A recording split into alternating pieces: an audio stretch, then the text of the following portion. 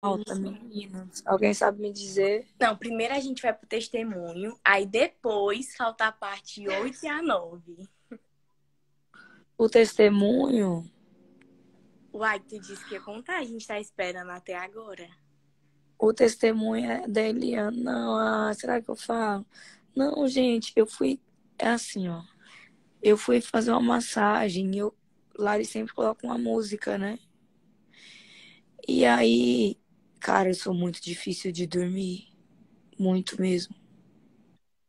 Eu, eu, eu, é todo mundo que, que me conhece sabe que eu tenho uma dificuldade muito grande para dormir. Inclusive, eu já, eu já tomei os meus remédios de dormir, não consigo dormir. Pronto, fecha aspas. Aí, o que que acontece? Eu fui fazer uma massagem e perdoa, Eliana, mas eu vou abrir seu nome aqui. A Eliana foi fazer a massagem em mim e eu pedi licença para ela se eu pudesse, se eu poderia colocar o audiobook, que era o oitavo. A gente tá no oitavo ainda? Tá, a gente termina hoje o 8. Gente, o que tá acontecendo com a Jana? Não tá conseguindo entrar. Ela disse que chegou em Guarulhos agora. Acho que ela tá Ok. no aeroporto. Tá bom. E aí ela começou a ouvir comigo e ela fez uma massagem em mim que eu entrei em sono, em sono profundo, sem remédio, sem nada, ouvindo o áudio do o áudio do, cap, do, do capítulo 8, né? Sim. E aí, quando eu acordei, ela estava bem emocionada. E, ela, e aí ela per- perguntou da onde era, né? E eu falei, ah, é um livro que a gente lê e tal. Ela estava bem emocionada. Então eu vi que era para eu ter lá, fazer a massagem, ela me botar para dormir, eu escutar e ela também escutar. E ela agora tá fazendo parte do grupo também, ela tá lendo o livro. Ah, Coisa mais tá- boa. Não, ela é maravilhosa, ela tem uma energia muito boa, viu? e hoje a gente vai falar sobre sono, acredita? É o 9. Ah, é bom que eu durmo no meio. Aí vocês me desligam da live. Vou Vamos. até, vou até desligar essa luz aqui, porque aí, aí qualquer coisa, cê- vocês me vêem dormindo e falam, a Mayra dormiu na live, gente. Então tá bom, pode começar. Vamos. Ó, eu vou explicar rapidinho o 6 e o 7 que a gente leu e que a gente não explicou nada. Aí Ah, mas gente vai. Então, vocês terminaram o oitavo ou não? Não, a gente leu a parte 6 e 7 do 8 e não explicou. E aí tá faltando a parte 8 e 9, que é bem curtinha e finaliza o oitavo. Então vai, a gente explica, vai. Então-. Leu o 8 e o 9 antes de explicar o 6 e o 7? É o 8 e o 9, antes de explicar o 6 e o 7, explica tudo. Então, amiga, tu consegue ler? Tá. Consigo. É o corpo com meio ou fim? É, começa aí, o corpo como meu Tá fim. Gente, eu tô aqui, ó, na minha escuridãozinha, mas tô bem, tá? Boa, vamos lá então. O corpo como meio ou fim. Atitudes dirigidas ao corpo são atitudes dirigidas para atacar. As definições egóticas para qualquer coisa são infantis e sempre, e sempre, ba- e sempre baseiam naquilo que ele acredita ser a sua função. Isso é porque o ego é incapaz de generalizações verdadeiras, igualiza o que vê com a função que designa, não igualiza o que vê com o que a coisa é. Para o ego, o corpo é algo com que atacar. Igualizar-te ao corpo te ensina que o que tu és serve para atacar. O corpo não é, então, a fonte da própria saúde. A condição do corpo depende apenas da tua interpretação. Thaisa, a Tha- Thaisa, dá, um- dá uma olhadinha se você tá colocando o dedo no microfone, porque tá longe.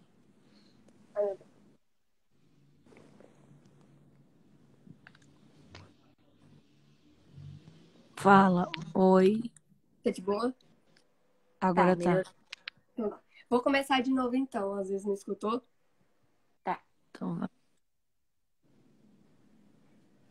Atitudes dirigidas ao corpo são atitudes dirigidas para atacar. As definições egóticas para qualquer coisa são infantis e sempre baseiam naquilo que ele acredita ser a sua função. Isso é assim porque o ego é incapaz de generalizações verdadeiras. Igualiza o que vê com a função que designou para isso. Ele não igualiza o que vê com a, o que a coisa é. Para o ego, o corpo é algo com o que atacar.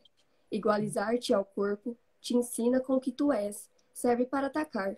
O corpo não é então a fonte da própria saúde. A condição do corpo depende apenas da tua interpretação da sua função. As funções são parte do ser, pois surgem dele, mas o relacionamento não é recíproco. O todo define a parte, mas a parte não define o todo. No entanto, conhecer em parte é conhecer inteiramente devido à diferença fundamental entre o conhecimento e percepção. Na percepção, o todo é construído de partes que podem se separar e reunir outra vez em diferentes constelações, mas o conhecimento nunca muda, de modo que a sua constelação é permanente. A ideia dos relacionamentos entre a parte e o todo só tem significado ao nível da percepção, onde a mudança é possível. De outro modo, não há nenhuma diferença entre a parte e o todo. O corpo existe em um mundo que parece conter duas vozes que lutam pela sua posse, sendo essa constelação que é percebida. O corpo é visto como capaz de deslocar a sua aliança de uma para outra, fazendo com que tanto os conceitos da saúde quanto os da doença sejam significativos. O ego faz uma confusão fundamental entre o meio e fim, como sempre faz, considerando o corpo como um fim. O ego não tem utilidade real para ele, porque ele não é um fim, tens que ter notado, tem que ter notado uma característica marcante de todos os objetivos que o ego tem aceito para si mesmo. Quando os alcançastes, ele não te satisfez. É por isso que o ego é forçado a se deslocar incessantemente de uma meta para outra, de forma que continues a esperar que ele ainda possa te oferecer alguma coisa.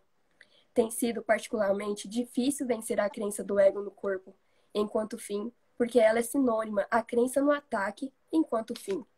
O ego tem um profundo investimento na doença. Se está doente, como podes fazer objeções à firme crença do ego, segundo a qual não és vulnerável? Esse é um argumento atraente no ponto de vista do ego, porque obscurece o ataque óbvio que está por trás da doença.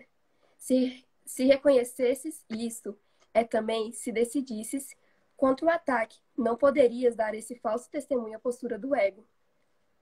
É duro perceber a doença como um testemunho falso, porque não reconheces que ele está inteiramente à margem daquilo que tu queres. Esse testemunho, então, parece ser inocente e digno de confiança, porque não examinastes com seriedade em todos os seus aspectos. Se o tivesse feito, não considerarias a doença um testemunho tão forte a favor dos pontos de vista do ego. Uma declaração mais honesta seria a de que aqueles que queiram o ego estão predispostos a defendê-lo. Portanto, sua escolha de testemunhas deveria ser suspeita desde o início. O ego não apela para testemunhas que iriam discordar do seu caso, assim como também o Espírito Santo não o faz. Eu tenho dito que o julgamento é a função do Espírito Santo, função essa que ele está perfeitamente equipado para cumprir. O ego, enquanto juiz, faz qualquer coisa, exceto um julgamento imparcial. Quando o ego apela para uma testemunha, ele já faz da testemunha uma aliada. Ainda assim, é verdade que o corpo não tem função em si mesmo, pois não é um fim. No entanto, o ego estabelece como um fim, pois dessa forma, a sua função verdadeira é obscurecida. Esse é o propósito de tudo o que o ego faz. Seu único objetivo é perder de vista a função de todas as coisas. Um corpo doente não faz nenhum sentido, não poderia fazer nenhum sentido, porque a doença não é a função do corpo. A doença só tem significado se as duas premissas básicas nas quais se baseia a interpretação que o ego faz do corpo forem verdadeiras, que o corpo existe para o ataque e que tu és um corpo. Sem essas premissas, a doença é incombestível. A doença é um modo de demonstrar que pode ser ferido, é um testemunho da sua fragilidade, da tua vulnerabilidade e da tua extrema necessidade de depender de orientação externa. O ego usa isso como seu melhor argumento para a tua necessidade da sua orientação. Ele dita receitas sem fim para evitar resultados catastróficos. O Espírito Santo, perfeitamente ciente da mesma situação, não se preocupa absolutamente em analisá-la. Se os dados são sem significado, não faz sentido analisá-los. A sua função da verdade é coletar informações que sejam verdadeiras. Qualquer forma que uses para lidar com o erro não resulta em nada. Quanto mais complicados os resultados, mais duro vem a ser o reconhecimento que nada são. Mas não é necessário examinar todos os resultados possíveis, quais, aos quais as premissas dão lugar para julgá-los verdadeiramente. Um instrumento de aprendizado não é um professor. Ele não pode te dizer como te sentes. Não só não sabes como te sentes, porque ele tens aceito a confusão do ego e acreditas, por conseguinte, que um instrumento de aprendizado pode te dizer como te sentes. A doença é meramente um outro exemplo da tua insistência em pedir orientação de um professor que não sabe a resposta. O ego é incapaz de saber como te sentes. Quando eu disse que o ego não sabe de nada, disse a única coisa a respeito do ego que é totalmente verdadeira. Mas há um, um colário. Se apenas o conhecimento é, e se o ego não tem conhecimento, então o ego não é. Tu bem poderias perguntar como a voz de vez algum, de alguma coisa que não existe pode ser tão insistente. Já pensastes no poder de distorção de algo que queres, mesmo se não é real? Existem muitos exemplos de como o que queres distorce a percepção. Ninguém pode duvidar da competência do ego em construir casos falsos. E ninguém pode duvidar da tua disponibilidade em escutar, enquanto não escolhes não aceitar coisa alguma, exceto a verdade. Quando deixares o ego de lado, ele desaparecerá. A voz do Espírito Santo é tão alta quanto a tua disponibilidade em ouvir. Não pode ser mais alta em violar a tua liberdade de escolha, que o Espírito Santo busca restaurar e nunca minar. Teus irmãos de forma que ele possa ensinar a sua mensagem através de ti. Isso irá curá-los e, por conseguinte, curará a ti. Tudo que é usado de acordo com a sua função assim como o Espírito Santo o vê, não pode ser doente. Tudo que é usado de outro modo, o é. Não permitas que o corpo seja um espelho de uma mente dividida. Não permitas que ele seja uma imagem da sua própria percepção da pequenez. Não permitas que ele reflita a tua decisão de atacar. A saúde é vista como estado natural de todas as coisas, quando a interpretação fica a cargo do Espírito Santo, que não percebe nenhum ataque em coisa alguma, a saúde é o resultado do abandono de todas as tentativas de se usar o corpo sem amor. A saúde é o início da perspectiva adequada da vida sob a orientação do único professor que conhece o que é a vida, sendo a voz pela própria vida. Terminamos. O 9, amiga, terminou? Sim, aí agora é a cura como percepção corrigida. Isso. Pode ler também. É pra ler também? A gente é, ela diz que lê tudo e aí no final a gente só comenta. Tá bom, deixa eu só beber uma água aqui que eu tô rouca já. A cura como percepção corrigida. Eu disse anteriormente que o Espírito Santo é a resposta. Ele é a resposta para todas as coisas, porque ele conhece qual é a resposta para todas as coisas. O ego não sabe o que é uma verdadeira pergunta, muito embora ele coloque um sem número delas. Entretanto, podes aprender isso na medida em que aprenderes a questionar o valor do ego e, assim, estabeleceres a tua capacidade de avaliar as suas questões. Quando o ego te tenta para que fiques doente, não peças ao Espírito Santo para curar o corpo, pois isso seria apenas aceitar a crença do ego, segundo a qual o corpo é o objetivo adequado para a cura.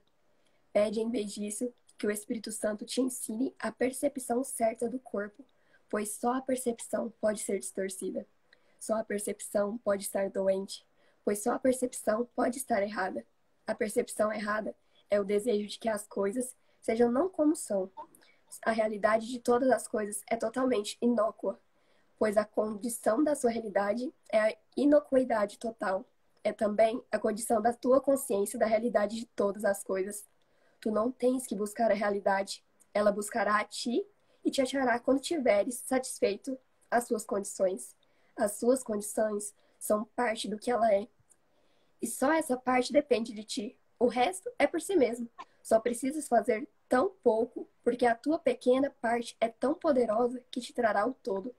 Aceita, pois tu a tua pequena parte e permite que todo seu e permite que todo seja teu. A integridade cura, porque é da mente. Todas as formas de doença, até mesmo a morte, são expressões físicas do medo, do despertar. Elas são tentativas de reforçar o sono por medo do acordar. Esse é um modo patético de tentar não ver, tornando sem efeito as faculdades da vista. Descansa em paz. É uma bênção para os, para os vivos, não para os mortos, porque o descanso vem do despertar e não do sono. O sono é afastamento, o despertar, união. O sonho, os sonhos são ilusões de união, porque eles refletem as noções distorcidas do ego a respeito do que seja unir. Entretanto, também o Espírito Santo tem uma utilidade para o sono e pode usar sonhos a favor do despertar. Se tu lhes permitires. Como acordas é o sinal de como usastes o sono. A quem o destes? Sob, sobre orientação de que professor o colocastes? Sempre que, despre... Sempre que despertas, desinspirado, não o deixes ao Espírito Santo. Só quando acordastes alegre é que usastes o sono de acordo com o seu propósito. De fato, pode ser drogado pelo sono se tu usastes equivocamente em favor da doença. O sono não é uma forma de morte, assim como a morte não é uma forma de inconsciência. A inconsciência completa é impossível. Só podes descansar em paz porque estás despertos, des desperto. A cura é a libertação do medo de despertar e sua substituição pela decisão de acordar. A decisão de acordar é o reflexo da vontade de amar, já que toda cura envolve a substituição do medo pelo amor. O Espírito Santo não pode distinguir entre graus de erro, pois se ensinasse que uma fórmula de doença é mais séria do que outra, ele estaria ensinando que um erro pode ser mais real do que o outro. A sua função é distinguir só entre o falso e o verdadeiro, substituindo o falso pelo verdadeiro. O ego, que sempre quer enfraquecer a mente, tenta separá-la do corpo em uma tentativa de destruí-la. No entanto, o ego, de fato, acredita que está protegendo o corpo. Isso é assim, porque o ego acredita que a mente é perigosa e quer privar algo da mente é curar. Mas privar da mente é impossível, pois significaria fazer o que nada do que Deus criou. O ego despreza a fraqueza, muito embora faça todos os esforços para induzi-la. O ego só quer o que odeia. Para o ego, isso faz sentido perfeito. Acreditando no poder do ataque, o ego quer atacar. Mas não é só. A Bíblia te exorta a ser perfeito, a curar todos os erros, a não pensar no corpo como, como algo separado e a realizar todas as coisas em meu nome. Mas não é só meu nome, pois a nossa é uma identificação compartilhada. O nome do Filho de Deus é um só e és exortado a fazer os trabalhos do amor, porque nós compartilhamos essa unicidade. Nossas mentes são íntegras, porque são uma só. Se estás doente, estás te afastando de mim. No entanto, Tu não podes afastar-te só de mim, só podes afastar-te de ti mesmo e de mim. Com certeza já começastes a reconhecer que esse é um curso muito prático e que de fato quer dizer exatamente o que, o que diz. Eu não iria te pedir que fizeste coisas que não podes fazer, e é impossível que eu pudesse fazer coisas que tu não possas fazer.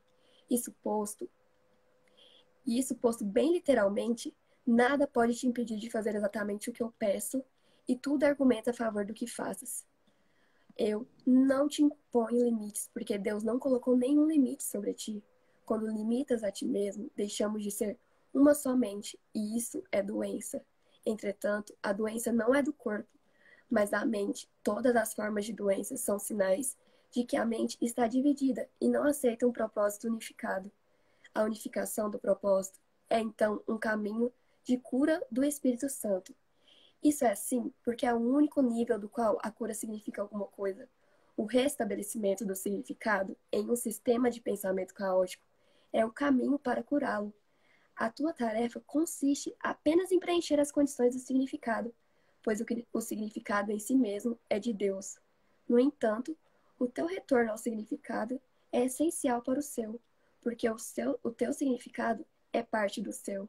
A tua cura, então, é parte da sua saúde, já que é a parte da sua integridade. Ele não pode perder isso, mas tu podes não saber disso. Entretanto, essa é ainda a sua vontade para ti e a sua vontade de não poder deixar de prevalecer para sempre em todas as coisas. Terminamos.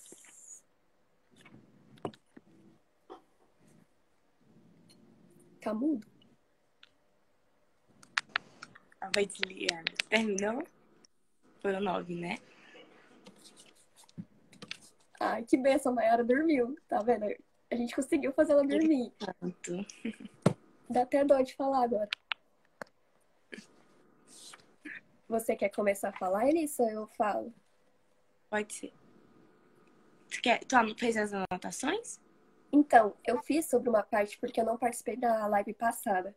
Mas no número 5, no númerozinho 5, fala assim, que Deus sempre tá olhando a gente.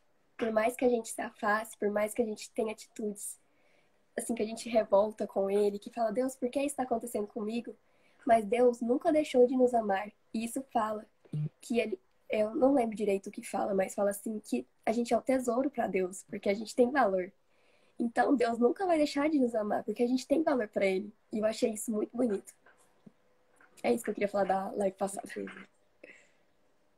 Mas é, foi bem parecido com o que eu anotei também da passada. Dessa agora, eu vou falar bem rapidinho do 6 e do 7, para dar tempo a gente falar do. Tá travando o meu ou tá, tá tranquilo? Não, tá de boa. Tá de boa. Pra gente falar do, do 8 e do 9. É, no 6, fala assim: Ninguém que tenha sido criado por Deus pode achar alegria em coisa alguma senão no eterno. Eu achei isso muito interessante porque isso afirma que o nosso propósito está em Deus, né? E que a gente não consegue achar isso em nenhum outro lugar. É só uhum. em Deus. É, Lá no finalzinho ele vai falar: onde está o teu coração, ali está o teu tesouro. Isso a Bíblia diz, e é um, inclusive é um dos meus versículos favoritos. A Bíblia é diz que sobre tudo que deve guardar, guarda o teu coração, porque dele procedem as veredas da vida. Então aí a gente começa a entender tudo, é o tudo que esse ser está dizendo, né? Que eu preciso guardar o meu coração em Deus a única forma de eu achar a verdadeira alegria é em Deus e tudo que, que não parte disso é engano, é ego, né? Às vezes a gente só precisa voltar para esse centro de novo. No, no cinco, finalzinho do 5 para o 6 também vai falar que quando na realidade eu tenho uma sensação, um sentimento que não parte de Deus, eu posso achar que eu amo uma pessoa, mas aquilo não é um amor verdadeiro. Eu também posso Elissa. achar que alguém. É... Oi, amiga. Desculpa te interromper, mas a Ingrid Josh tá querendo falar com você. Que ela falou assim, Elissa, lê aqui, amiga. Peraí. Eu não consigo ler os comentários. Pera. Ingrid, manda de novo.